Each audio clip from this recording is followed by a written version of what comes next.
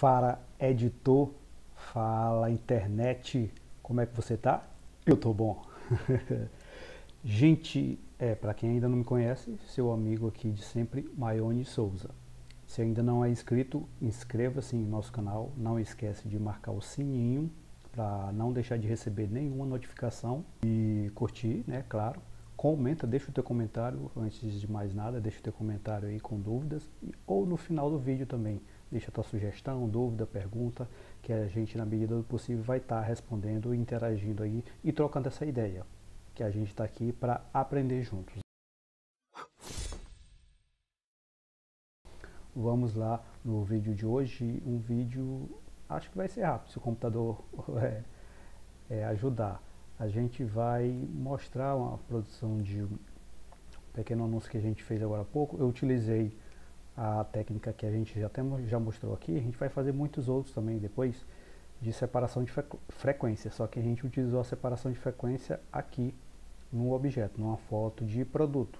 Foto de, de, de produto, a gente utilizou a separação de frequência para dar uma melhorada nas texturas, na cor da, da nossa imagem. E o que mais que a gente fez aqui? A gente fez um desfoque, fez alguns trabalhos. Então a gente vai ver é, como, for, como era a foto. A foto, diga-se de passagem, ela foi tirada por, pela Inoan. Ela tirou quando a gente estava fazendo o ensaio da pequena Manu, enquanto eu estava organizando o material. Deixa eu ver se eu acho aqui. Enquanto eu estava organizando o material, ela pegou a câmera e foi fotografar a câmera. A foto é da nossa querida Ainoan Sotnas. Segue lá no Instagram, Ainoan Sotnas. E que, deixa eu ver aqui. Ela tava, tava brincando de fotografar com iPhone. A foto é de iPhone, a gente deu uma trabalhada, de novo aqui, deu uma melhorada, deixa eu ver aqui.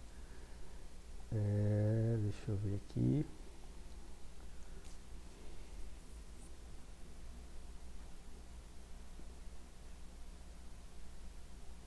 Muito rápido.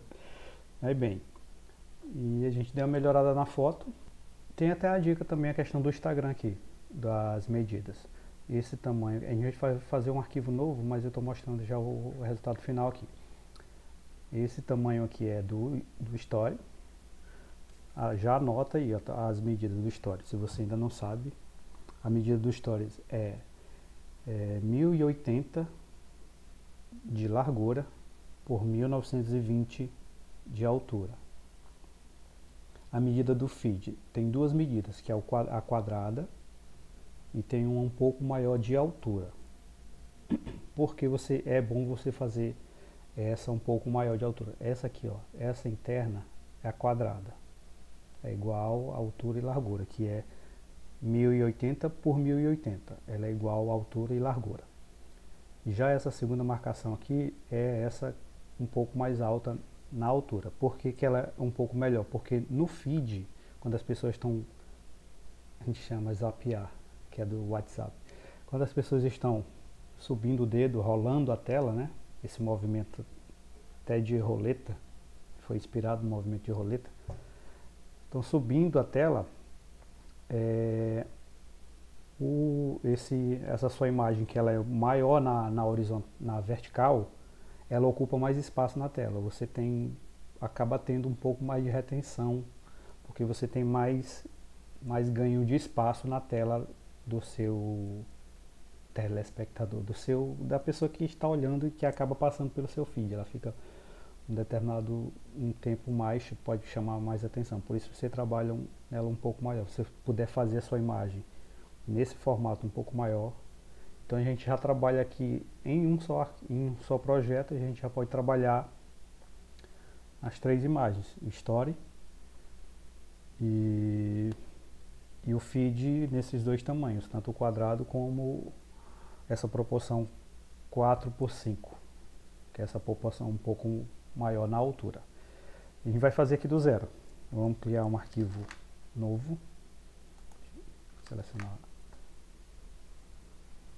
arquivo novo e a gente vai criar o principal no tamanho do story, que é 1080 Fechamos 1080. 1080, né? 1080 por 1920. 1920 de altura. Normalmente ele vem 72 dpi de resolução. Você opta se você quer deixar. Eu quis aumentar um pouco para mais ou menos na metade da, da, resolução máxima que normalmente se usa para grandes imagens, que é 300 dpi. Então eu resolvi deixar no meio termo, entre os 300 dpi e entre os 72 dpi, que também não é uma má imagem, mas eu quis deixar no meio termo aqui. Você pode usar também esse arquivo depois que você criar e deixar a marcação das réguas, ele é uma, como uma espécie de mockup. Para toda vez você não ter que criar. Você já deixa salvo lá projeto em branco, history do Instagram. Deixa ele em branco toda vez que você copia, renomeia para o pro projeto que você vai trabalhar e faz as alterações. E você sempre vai ter aquele arquivo lá guardadinho, já todo chapadinho, já só esperando as informações. Vamos lá, tá ok? O computador até agora há pouco, que eu não estava gravando, não estava nem pensando em gravar, ele estava fluindo legal. Agora que eu resolvi gravar, já vamos começar. Vai lá, e o story, tamanho do story. A gente vê que estamos com as réguas aqui. Se você não estiver visualizando as réguas, você pode chamar ela com Ctrl R, esconde ou aparece. Ou aqui visualizar, visualizar réguas, Ctrl R, veja o atalho.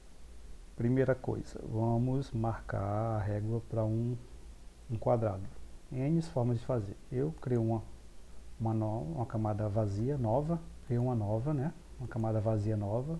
Eu venho aqui no selecionar de forma é, quadrada, retangular.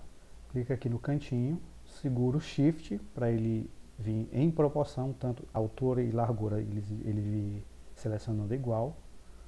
Veja se, ó, sem o, sem o Shift, você seleciona da forma que quiser. Se segurar o Shift, ele vai manter a proporção igual à altura e largura. Deixa eu deixar uma forma aqui desigual para ver como ele vai marcar igual, ó, quadrado. Eu vou até fechar aqui nos 1080, né, que aqui a gente tem 1080. E a gente vai ter 1080 aqui também. Eu preencho com qualquer cor. É, Alt Delete. Você escolhe uma cor. Alt Delete, ele vai preencher essa camada. Essa área selecionada desta camada. Volta para a ferramenta de seleção e vamos centralizar este objeto na nossa composição, no nosso projeto. Ela, ele já está centralizado na vertical, vamos centralizar aqui na horizontal. Pronto, Isso, marcou a cruzinha ali. Vamos criar uma outra camada, eu gosto de colocar ali embaixo, que já vai ser a proporção 4 por 5, a, um pouco maior de altura. Eu crio um novo, só para a gente arrastar de lá para essa nossa. Qual é a, a, as medidas? É 1080 de largura por 1350 de, de altura. É, uma, é um outro projeto. É uma outra cor, só para diferenciar. Preenche. Ctrl A para selecionar. Ctrl A com a ferramenta de seleção, você arrasta desta deste seu projeto para o outro projeto que a gente estava, que a gente está trabalhando, que a gente vai trabalhar, que esse aqui a gente vai fechar. Arrasta, ó, só arrastar até a abinha dele, solta, depois é só centralizar tanto altura e largura. Está centralizado. Pode fechar aqui o outro projeto que a gente criou só para pegar o quadrado. Deixa eu ver aqui.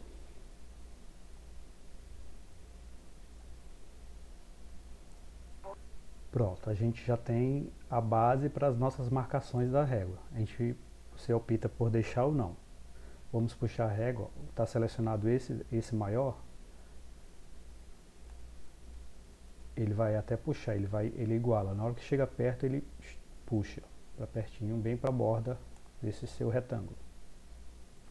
Vamos puxar aqui, veja que ele não puxa para essa outra, porque ela não está selecionada, vai ser o próximo passo. Então vamos na parte de baixo. Marcou aqui, já temos a marcação do 4 por 5. Seleciona a outra camada, a roxinha no caso, nesse caso aqui do exemplo, e puxa a régua e agora ele já vai ter esse snap, que é esse pulo, essa essa o imã, esse imã que puxa já iguala, ó, certinho. Na parte de baixo, veja que ele vai puxar, ó. Pum. Pronto, você pode deletar se quiser né, essas duas camadas. Vou colocar uma corzinha aqui mais para a gente poder ver mais azulada. Só de fundo aqui. Ctrl 0 só para deixar ela em 100% aqui da nossa visualização. E agora a gente vai trabalhar a nossa imagem, né? a foto lá de celular. Vamos ver a foto original aqui, ela está aqui na, como ela era.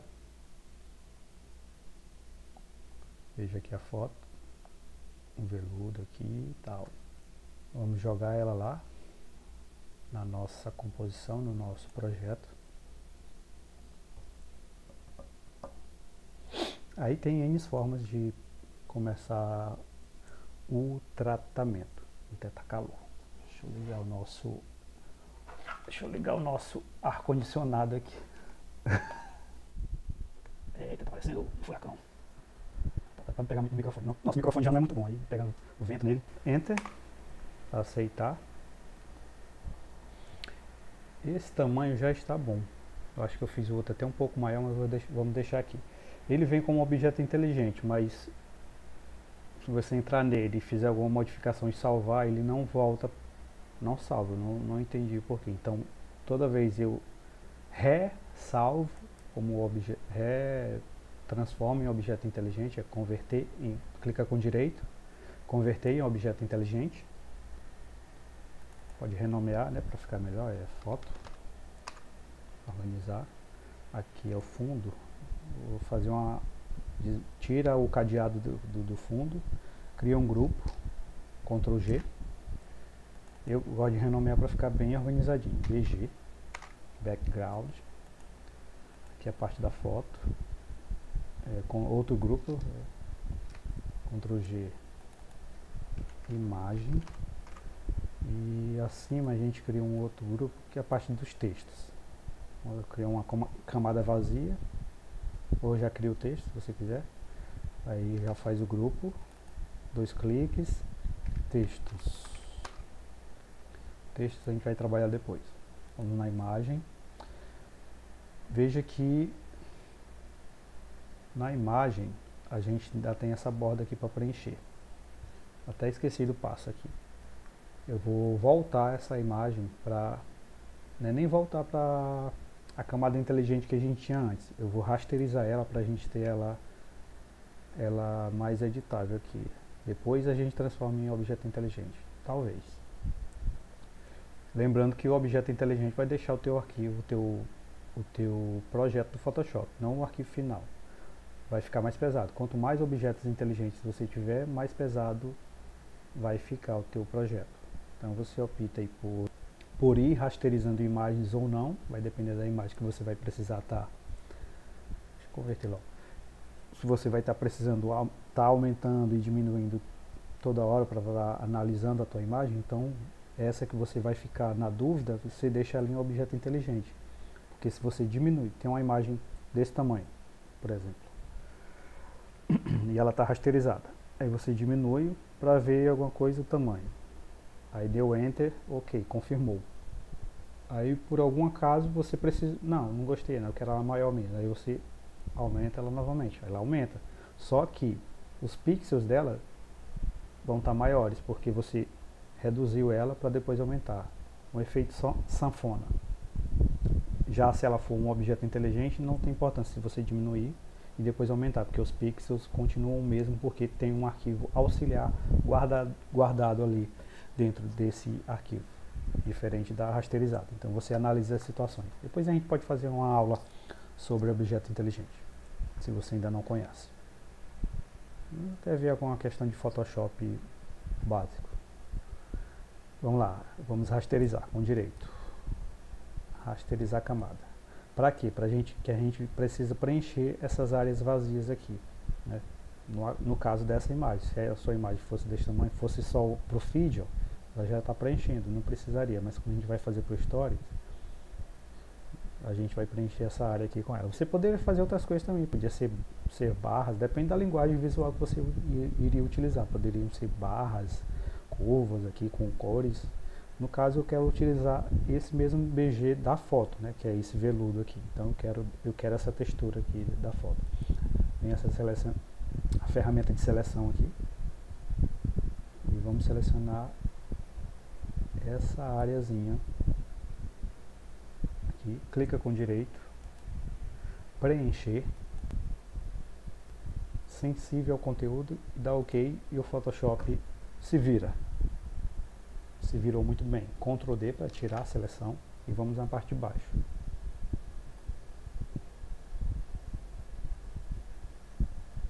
Ai, precisa ser bem certinho. Não, pode passar aqui. Só que eu gosto aqui bem rente, só pega um pouquinho aqui preencher, com, clica com direito, preencher, sensível ao conteúdo, já está marcado, só dá OK e o Photoshop se vira. Se virou muito bem.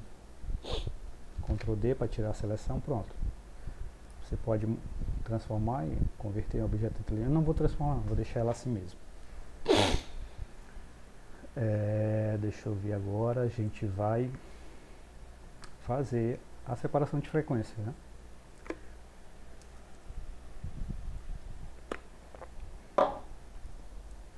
separação de frequências. Quem lembra aí?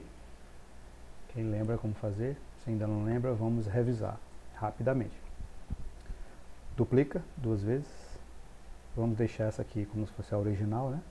Vamos duplicar duas. Duas vezes, Ctrl J, Ctrl J. Renomeia.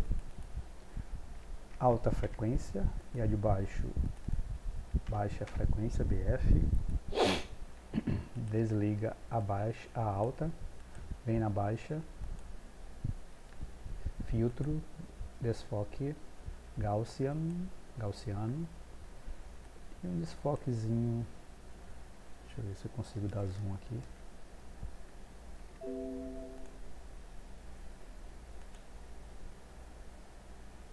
Enfim, você vai testando aí, ah, por aqui mesmo também dá para dar uma visualizada. você vai retirando um pouco da textura. Veja como era, né? Não vai muito, dependendo de cada imagem. Não vai, não exagera muito.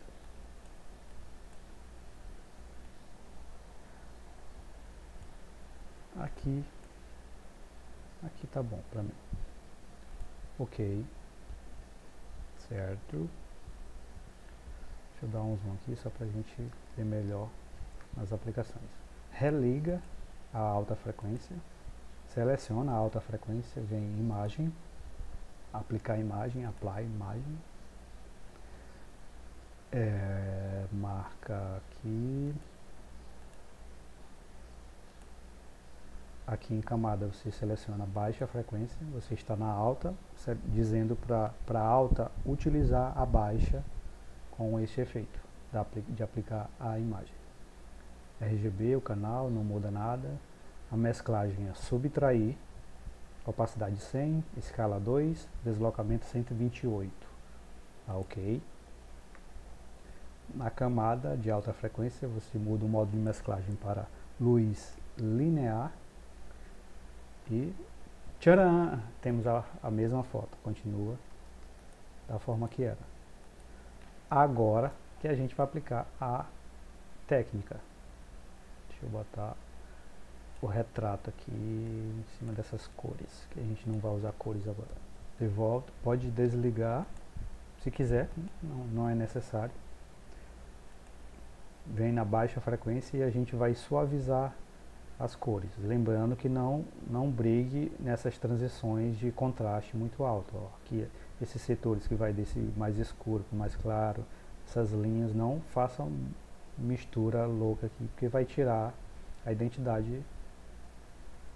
Vamos só fazer, só para exemplificar aqui, ver o que, que vai dar de resultado. Vamos aplicar bastante blue nessa região aqui que faz esse contraste do claro para esse mais escuro aqui. Ó.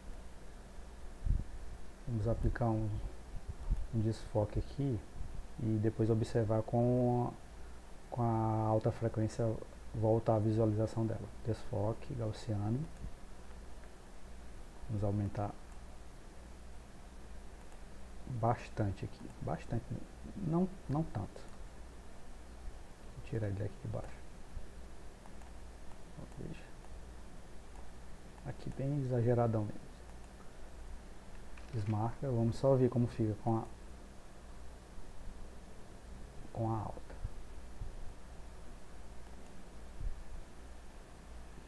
Deixa eu desfazer aqui para a gente tentar uma loucura. Vou duplicar essa camada aqui. Vou duplicar ela aqui. Essa, só para a gente brincar, essa, essa cópia aqui, depois a gente apaga ela. Eu vou aplicar um desfoque bem forte em tudo, no geral. Selecionar aqui grosseiramente e ver o que, vai acontecer. Selecionar tudo e aplicar um desfoque forte em tudo. Nunca fiz esse teste, nem vi ninguém fazendo. Confesso que não sei o que vai acontecer, mas vamos ver. Está tirando, basicamente, vai tirar basicamente as informações de. Vai misturar tudo. Ó. Veja que é bem, bem grotesco na parte do desfoque. Mas vamos ver quando a gente voltar voltar a alta frequência se fica tão estranho. Fica muito estranho. Está aparecendo brilho. Por isso que tem que ser pontual os pontos e não pode exagerar, como eu disse, nessa naquela região. Correto? Então podemos apagar essa moça aqui que ela não tem que ser pontual e tem que ser tem que dosar no, no desfoque aqui para a gente trabalhar. Então vamos lá, vamos lá, vamos lá, é selecionar, né, uma área pequena ou não tão pequena, vai depender das áreas. Aí vamos dar um Ctrl, agora não, porque está com aquele desfoque muito alto. Vou trabalhar um desfoque mais baixo.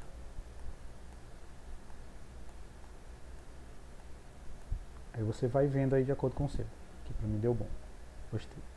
Aí só ir selecionando outras. Eu estou aplicando diferente da outra forma que a gente fez com o pincel de mistura, certo? Ctrl F. Aí vou selecionando pedaços e aplicando o desfoque. Partes separadas e pequenas. Ctrl F. Ctrl F. A gente está trabalhando na camada de baixa frequência suavizando as cores, né? igualando as cores. E a alta frequência está ligada. Ah, depois a gente vê a foto original, comparação. Ctrl F. Você vai ver o, o milagre que a separação de frequências faz na sua foto. Dá um tchan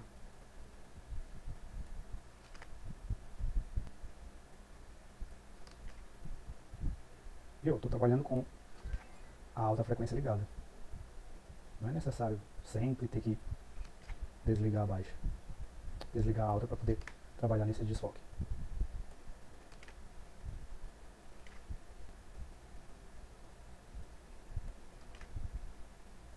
Vamos ver onde tem mais aqui, alguma coisa que a gente possa tirar.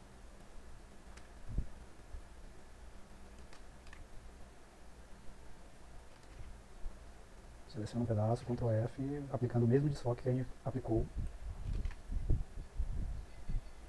Só repetindo a mesma quantidade de desfoque. Okay. Vamos ver aqui o antes. O antes e o depois. Tchan. Dá uma suavizada aqui. Aí aqui na alta frequência você pode estar tá retirando texturas que desagradáveis que ficaram, poeiras, no caso de, de objetos, né? Vem com o carimbo, né? Quem lembra aí da aula anterior. Pega uma área próxima.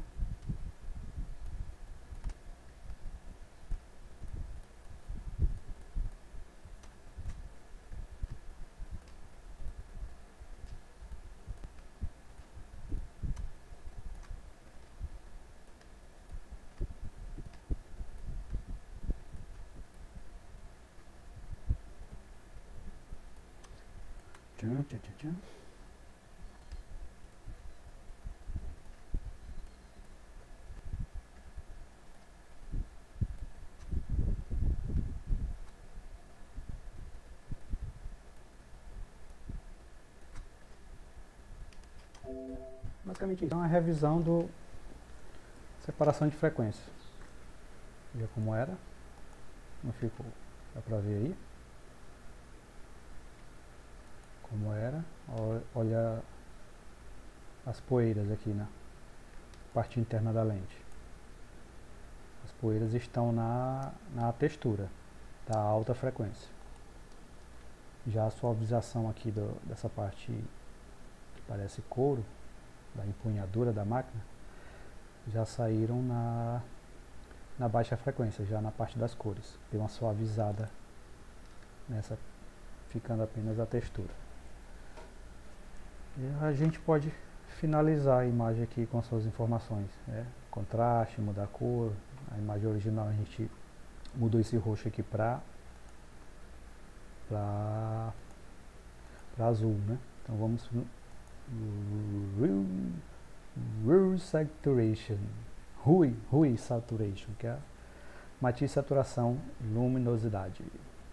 Seleciona aqui o dedinho, que seria uma espécie de conta-gota, procura o teu tom de roxo aqui, e a gente pode estar tá aumentando a saturação, mas a gente quer, no caso, azul, vai levar para cá, mais ou menos aqui por aqui, esse azul. Mais saturação ou não, vai de, acordo com a, a linguagem visual do teu projeto aí. Você está pegando aqui na lente. Você pode tirar, como é uma camada, você pode tirar com um pincel. Pincel normal, em preto. Pode tirar do interior da lente. A opacidade está pouquinho.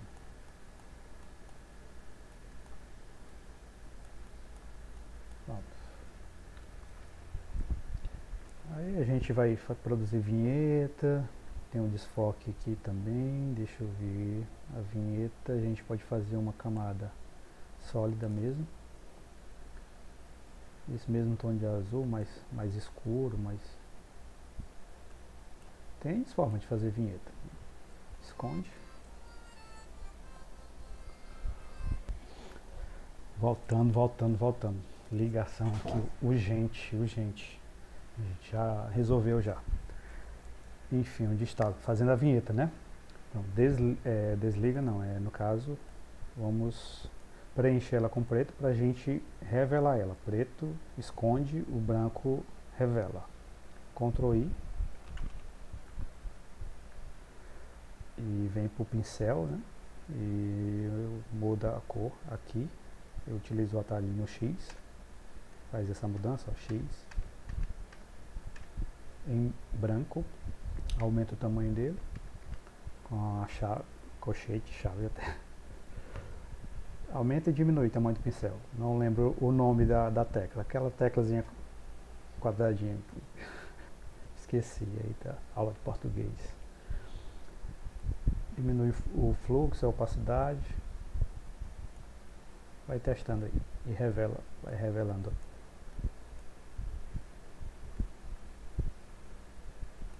Eu não, não apliquei o blend if aqui nessa camada da vinheta. Ó, a gente, como a gente tem essa área, eu ia apontar aqui na tela sem vocês verem. Como a gente tem essa área, deixa eu voltar aqui a seta para melhor é, ver. A gente tem essa área aqui, que é a, a central, então procura fazer a vinheta. Oi! Quem vai ser o próximo?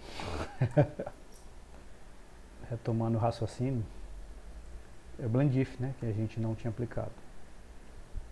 Não, aqui, ó. Essa região central procura fazer a vinheta mais de acordo com a região central. Então faz a vinheta mais ou menos assim, ó. Nesse setor aqui do, da, dessa primeira proporção, que é 1 por 1. No caso, a 1080 por 1080. Ela já vai pegar um pouco aqui, na, na próxima, na 4x5, e na do, do history. History, story. volta para o pincel e vamos a organizar a nossa vinheta.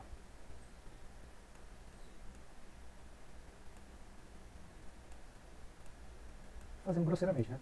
Que a gente está fazendo, tentando fazer o mais rápido possível. Vamos aplicar um brand if nesse caso, né? Então, acho que é a cor. Vamos puxar mais pro preto aqui. O computador já está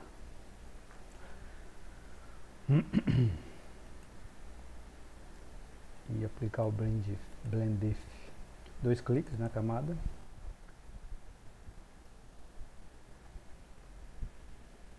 E vamos puxar os pretos com Alt segurado aqui nessa de baixo.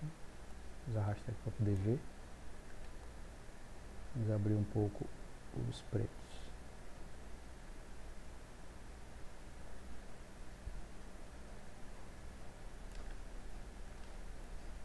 brancos também.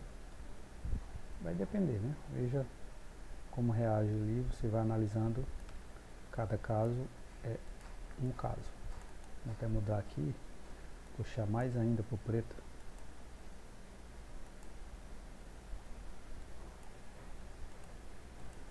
Tem N formas, né, como eu disse.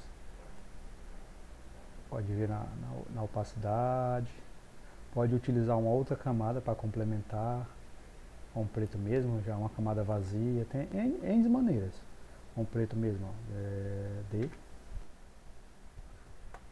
Vou levantar o computador. É, botou. Pode pintar aqui, a opacidade está baixa. E também a opacidade da camada depois, né? pode dar trabalhada nela. Pode pegar azul, um azul na composição. E ficou muito claro. Azul mais aqui.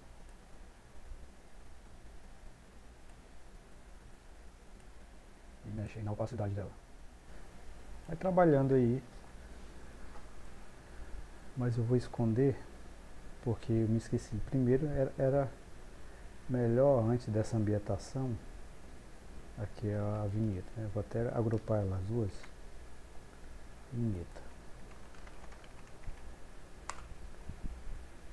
vou esconder. Vamos voltar aqui acima da alta frequência. Nós vamos fazer aquele achatamento de todas as imagens, mas mantendo as, as camadas de baixo, para a gente trabalhar esse desfoque. Então é Ctrl Alt Shift E para fazer esse achatamento de todas as imagens de uma só imagem acima dessas outras camadas que a gente já trabalhou. Ctrl Alt Shift E. Uh, deixa eu ver, acho que eu cliquei no lugar. Era acima da Ctrl Z, acima da, da, da saturação, para a gente pegar com a mesma cor. Ctrl Alt Shift E. Que ali ele já estava aplicando a saturação de novo na imagem. E aqui a gente aplica um desfoque para a gente trabalhar aquela sensação de e profundidade de campo. Esse primeiro plano aqui está mais desfocado, o fundo lá está desfocado e a câmera está focada.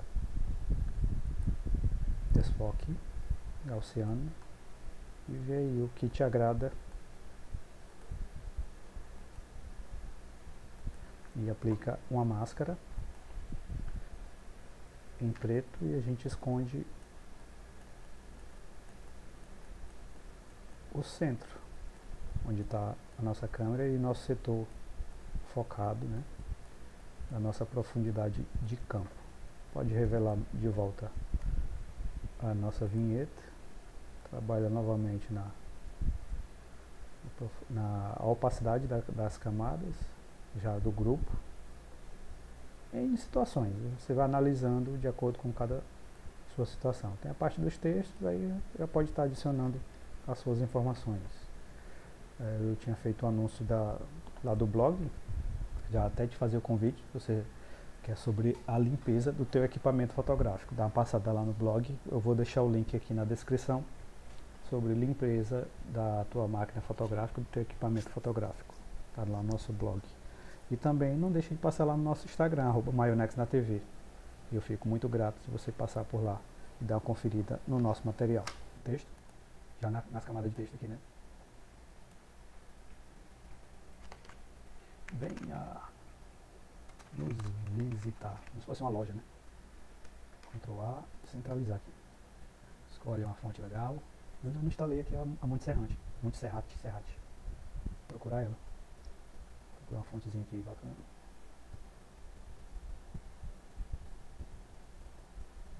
Deixa essas Gilsans aqui.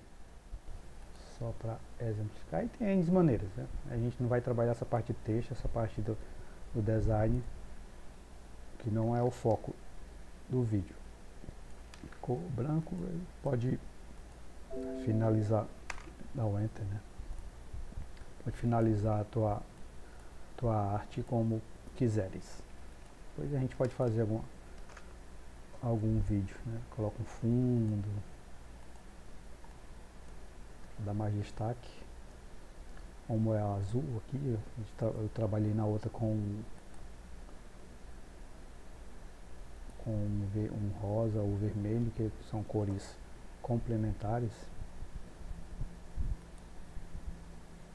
Vermelho mais escuro aqui. Dá esse destaque, esse contraste da letra branca. Tem uma borda azul. Azul.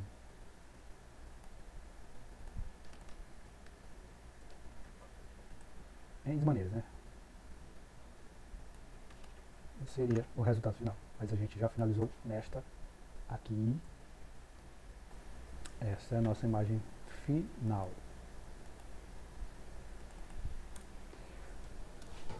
E a gente encerra por aqui, mas essa revisão de separação de frequências, se a imagem abrir aí, para mostrar para vocês o resultado final do nosso arquivo. É, revisão de separação de frequência, é, desfoque, simulação de depth of field, é, profundidade de campo.